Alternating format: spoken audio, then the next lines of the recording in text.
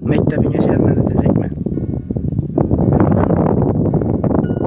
Ay ne? Şunu boyunda yırttı bu. Tırnağından düşürüp hey. Yani da hikmetse biz ampırda şonda sakayan yazı şuradan gidiyorum yani ben.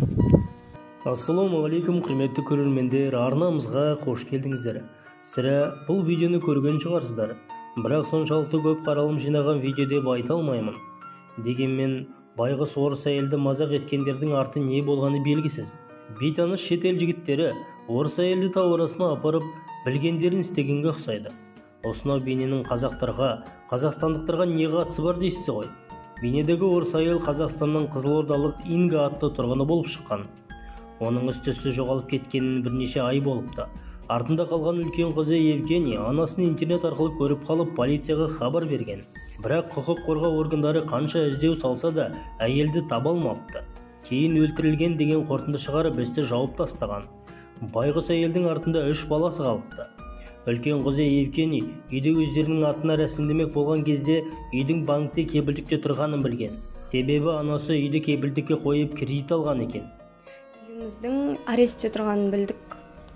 Сосын біз неліктен екенін түсінбедік басында. Сосын бізге бір судисполнительдің номерін берді. Біз соған барып қайттық. Сөйтсек маманың төленбеген кредиті бар екен. Сол кредитті төлемегені үшін үйді арестке қойды өйткені маманың атында бірақ мүлік бар ғой бұл үйда енді біз өзімізге аудара алмадық.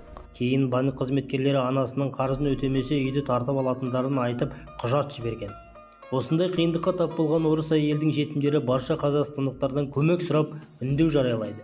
Евгенийдің жасы жақында 18-ге толғандықтан інісі мен сіңлісін өз асырауына алып құжаттарды рәсімдеп алған. Бойжеткен орыс қызының әкесі ертеректе қайтыс болғандықтан оның ешкімі жоқ еді. Отбасының тірегі де асыраушы да өзі болғандықтан барша құжаттарын құшақтап жүгіріп бармаған жері қалмаған. Жергілікті әкімдіктің есігін тоздырғанымен үйлерін алып қалу үшін ешқандай көмек болмапты. Бар болғаны әкімдік кәмелетке толмаған інісі мен сіңлісіне жәрдемақы тағайындап берген. Мен ғана 18-де толып үлгердім. Сол балаларымды өзіме опекунство ретінде алдым. Евгений қыз халықтан көмек сұрамаса жақын арада банк үйлерін тартып алып далада қалатынын білгеннен соң барша жұрттан интернет арқылы жәрдем сұраған. Қазақшаға суда евгений қыз өз ортасында өте сыйлы екен. Көрші қолаңдар да жан ұшырып көмек қолдарын созған. Көше көшуге дайындалып отыр. Тек жиырма төрт жиырма төртінші осы базаркина марқұм инганың балдары ғана артынан қалған асыраушы жетім балдары ғана не барарын қайқа барарын білмейді. Өйткені бұлардікі үйлері арестте кредитте.